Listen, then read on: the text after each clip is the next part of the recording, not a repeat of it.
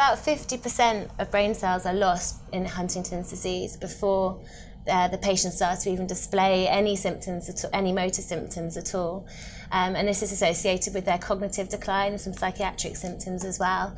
So, in the pre-symptomatic people that we're looking at at Cardiff, brain imaging is a really interesting tool because you're starting to see these changes in the brain before any obvious symptoms can actually be detected. So, that's why we use MRI. So, here is an example of a, an MRI scan from one of our patients. And um, if you just see, we're just scrolling through the brain now with the nose up here. And around here, you can see the basal ganglia. And the basal ganglia are a set of nuclei in the brain that are responsible for a number of the symptoms that we see, and they're some of the first cells to go. Um, you can also see, um, as we scroll through the brain, as we scroll through the brain, you can see these bits here, these are large ventricles.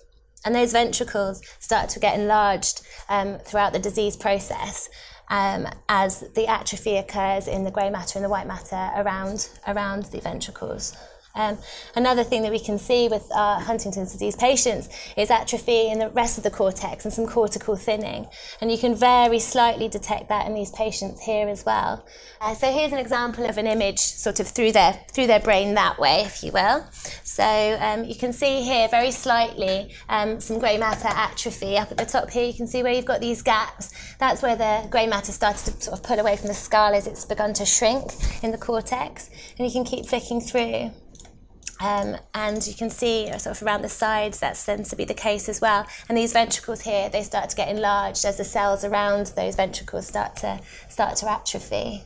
Here you can see a part of the brain called the corpus callosum, and that's the, it's a large uh, white matter bundle that sort of connects both our hemispheres of our brains together.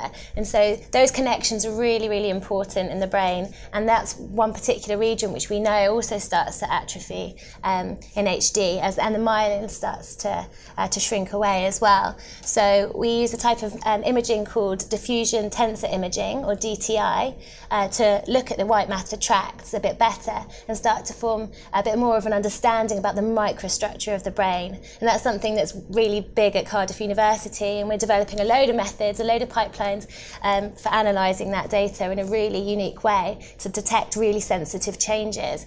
Um, we've got the new Connectome scanner as well, just down, just down the corridor, and that's one of the only uh, Connectomes in the world. So we're really starting to hone our skills in this particular form of imaging um, and doing white matter tractography. And that's where we can um, actually uh, detect the uh, the tracts in the brain um, and and analyze whether or not they're um, as healthy as they might be um, and whether we can improve that with, for example, an intervention like the research I'm doing or with a drug. Here's just a very rough example um, of the tractography we can kind of do at the scanner. So our pipelines that we've developed um, offline are a, a, lot more sensitive, but here we can just get a rough and ready idea about the corpus callosum in one of our patients. So here you can see uh, the white, the corpus callosum arching round here, and the the, uh, the connections that fan out to the cortex from the centre of the brain. And you can see here, you can rotate it in 3D, and then you can look at various metrics um, like fractional anisotropy or diffusivity in the brain, which kind of suggests how healthy those axons are.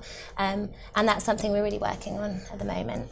We don't discuss the scans with the patients. Unlike the hospital, where they might go for a neurological referral, um, they might find out the outcome of their assessments through their neurologist.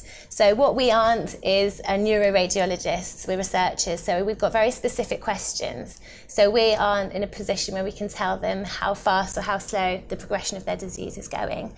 Um, but what we can tell them and what we really want to do is as soon as we've, get, uh, we've analysed the data and formed publications to disseminate that to the public as well as the scientific community.